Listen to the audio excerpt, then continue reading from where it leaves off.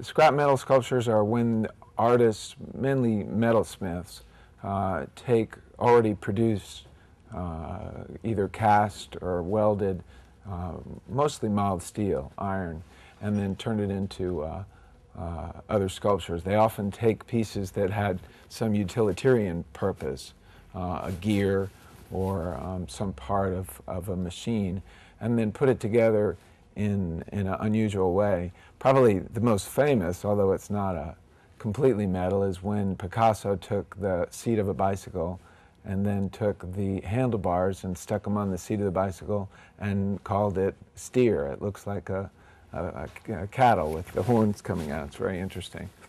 Um, contemporary, one of the one of the best known scrap metal artists is John Chamberlain, who takes uh, crumpled auto body panels. He finds them in junkyards and uh, puts them together in beautiful sculptures and paints them with bright colors. So those are two examples, two extremes of how artists make sculpture from scrap metal.